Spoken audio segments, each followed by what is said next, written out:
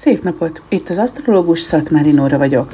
A nyár kellős közepén is van telihold. Ennek a különlegessége július 21-én az lesz, hogy ismét a bagban tetőzik, azaz egymást követő két telihold is ugyanabban a jegyben tetőzik.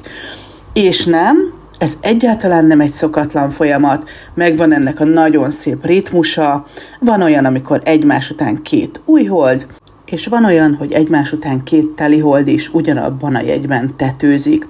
Sőt, olyan is előfordul, hogy egy évben például 13 új holdunk van, egy másik évben pedig 13 teliholdunk. Például itt a 2024-es esztendőben, csak az érdekesség kedvéért, 13 újhold pillanatot élünk meg. Igyekszem ezt a július 21-i bakteli holdat egy picit más irányból megközelíteni, mint ahogy a június 22-i bakteli holdat megközelítettem. Így egy kicsit más gondolatokat, más instrukciókat fogtok tőlem hallani, illetve kapni. Nyilván itt a nyár kellős közepén azért meglehetősen nehéz azt elfogadni, hogy bizony-bizony nem, arra kell időt szakítani feltétlenül, hogy az ember a lábát lógassa, hanem arra, hogy bátran nyomja a gázt, és az aktuális vágyait megpróbálja elérni, amihez ez az időszak és ez a bakteli hold sokat hozzátehet, hogy nem görcsösen, nem szabályokat betartva, hanem játékosan, szórakoztatóan, lazább kötelékekkel tudjuk elérni a vágyainkat, így pedig ugye ezek a vágyelérések gyakorlatilag sokkal könnyedébbek lehetnek, mint azt megszoktuk. A bak, mint minőség a Földhöz tartozik, és ugye a bakjegyét a Saturnus uralja, amiben benne van a kemény munka, az elkötelezettség és a határozottság is.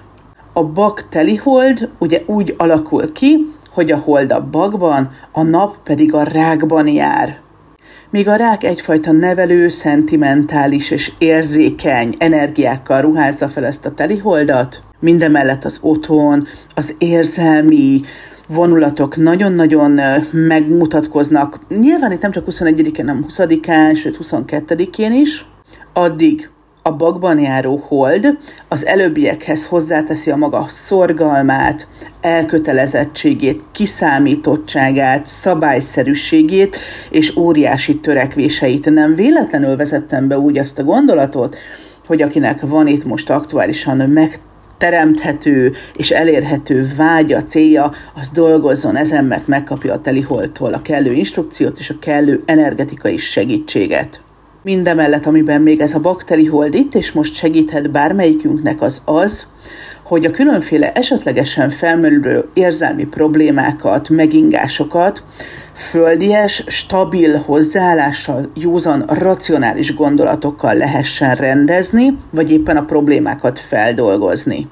A bakteli hold nagyon sokat segít abban, hogy a mélyen gyökerező érzelmeket megismerjük, felismerjük, ha nem vagyunk elégedettek ezekkel az érzelmekkel, akkor megértsük, hogy miért alakultak ki, és fel tudjuk ezeket dolgozni, és ugye a teli holdal én mindig el szoktam azt mondani, hogy el is kell ezeket engedni. El kell engedni, hiszen ezek az érzelmek már nem szolgálnak minket. Bizony, bizony, itt nem engedhetünk teret a vad érzelmeknek, hanem a racionális, megalapozott, így pedig stabil talajon álló érzelmek helye és ideje érkezik el. Ugye a bakkal stabilitást kínáló Saturnus, az a bolygó, amely az asztrológiában a korlátozásokat, a fegyelmet, a korlátokat, szabályokat, tekintélyeket és a kihívásokat is felügyeli. Épp ezért a Saturnus itt arra bíztat, hogy bátran határozd el, milyen nagy céljaid vannak, mi, mi az, amit ezekért hajlandó vagy megtenni, vagy éppen hajlandó vagy feláldozni, és igenis itt és most kell szintet lépned ahhoz, hogy az aktuális tervedet, gondolataidat, céljaidat okosan rendszerezd, struktúrákat felállíts, és ugye ezek segítségével úgy fölturbozd magadat, hogy tovább is tudsz haladni, és el fogod tudni érni a célodat, akár már a két héttel később esedékes újhold pillanatáig.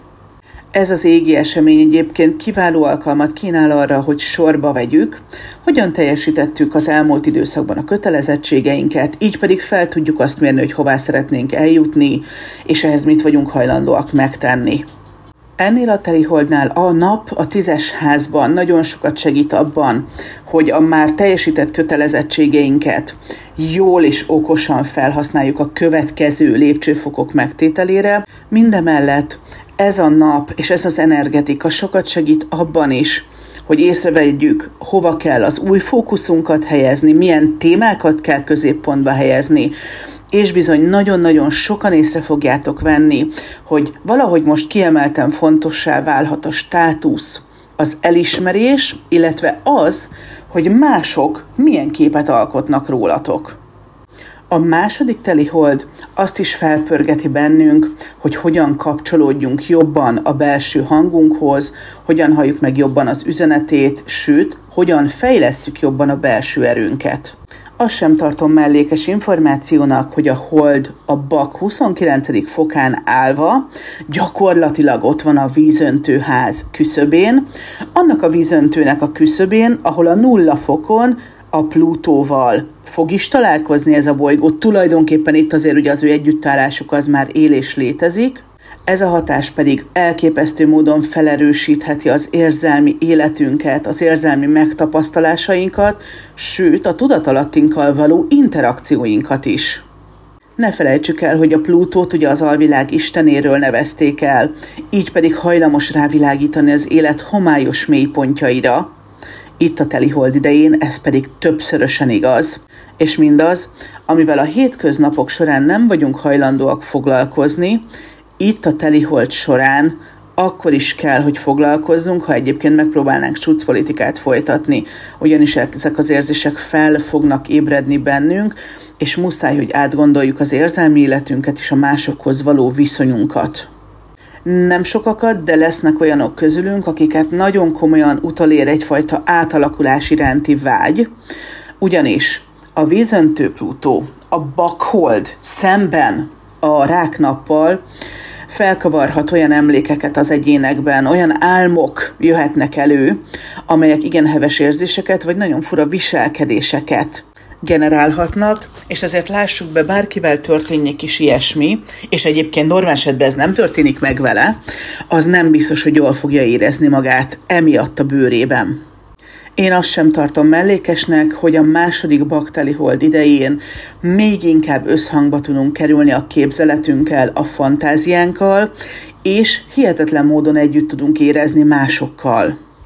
A hold egyébként ebben a pillanatában szextilt alkot a Neptunnal, ugye ez egy kifejezetten harmonikus fényszög a két bolygó között, és ez a kapcsolat fokozott érzékenységet válthat ki sokakból. Jó itt beszélgetni, jó itt érzelmi kapcsolódásokat megejteni.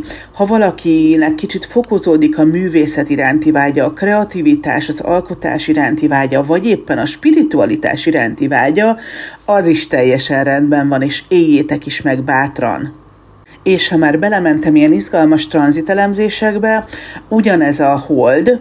Nagyon-nagyon jó és pozitív trigont alkot a Marssal, a cselekvés és az energia bolygójával, ráadásul itt a Mars éppen hogy, de elhagyta már a bika területét, és már az ikrekben van.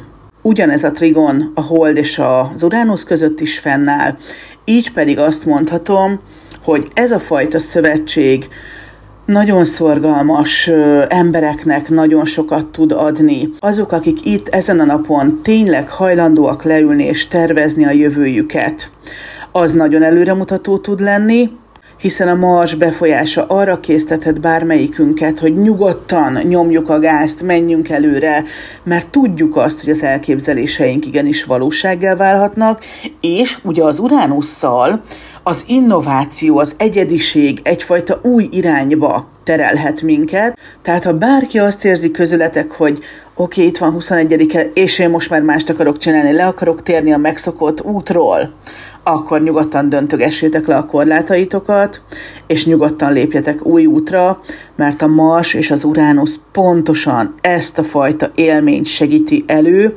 és nem gátolnak a fejlődésben, hanem sokkal inkább segítenek egy pozitív hátszéllel. Én azt kívánom nektek, hogy legyen minden úgy, ahogy lennie kell. Bátran hallgassátok meg a Telihold meditációmat a csatornámon, csatlakozzatok a csatornatagsághoz, heti 10 plusz videót tudtok megnézni. Emellett pedig azt kívánom, hogy legyen tök jó nyaratok, és ne felejtsétek el meghallgatni azt a videót is, amit kifejezetten horoszkópjegyeknek készítettem, arról, hogy milyen feladatotok van még a nyár hátralévő részében. Ha ezt a sok-sok videót meghallgattátok, akkor kellő tudatosságot tudtok nyerni, és remélem, hogy segítettem abban, hogy milyen döntéseket hozzatok, és merre haladjatok tovább. Mindenkinek a lehető legjobbakat kívánom. Ha viszont még mindig nem vagy elégedett azzal, amit hallottál, és szeretnél egy személyes konzultáción részt venni, akkor időpontot a plusz 3670 311 61 25-ös számon kérhetsz.